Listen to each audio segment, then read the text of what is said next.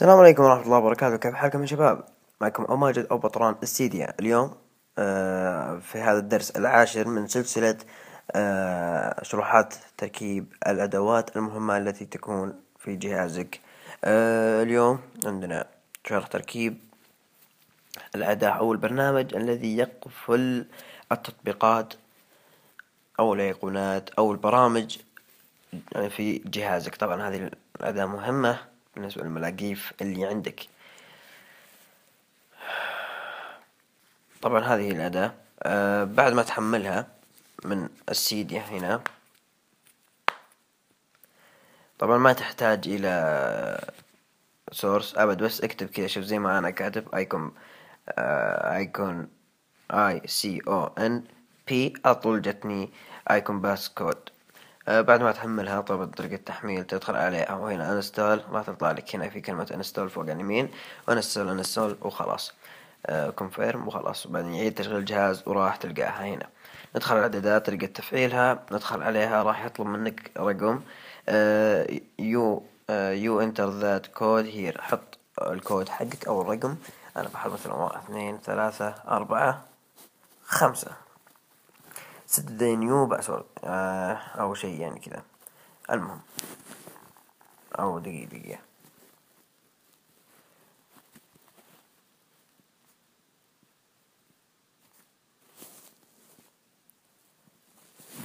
آه لازم تحط أربعة بس. زي ما حطيت أنا قبل شوي. كذا. بعدين آه أو خلنا نشوف. كذا. OK. Change password. إذا طلعنا زي تو قبل شوي نختار مثلا واحد اثنين ثلاثة أربعة. OK؟ بعدين نفعل هذا الخيار وبعدين ندخل هنا. هذا ال...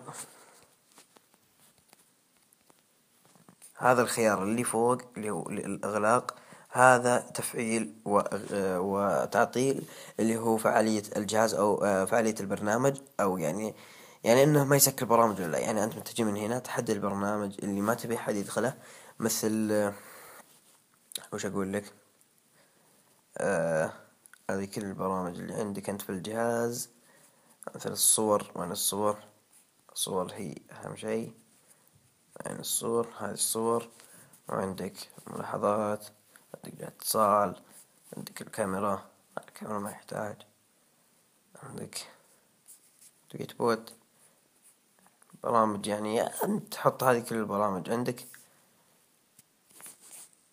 وأنت تفعلها. خلاص.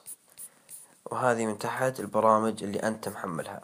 وهذه هي اللي, اللي تجيك آه الأدوات والبرامج الأساسية. وهذه عندك يعني عندك بوت مثلا من هنا واتساب. قلب تسكرة. بعدين تسوي تحط الرمز. بعدين تسوي كذا. ونطلع ونروح نجربه يعني صور. يطلب منا الرمز آه تويت بوت. يطلب منا الرمز. طبعا نجرب. واحد اثنين ثلاثة أربعة. ودخل عليك. ألف مبروك عليك. هذه الأداة آه السلام عليكم ورحمة الله وبركاته. إذا استفدت مني أرجو منك الريتويت والفولو والسبسكرايب واللايك. تحياتي لك وانشر المقطع. السلام عليكم.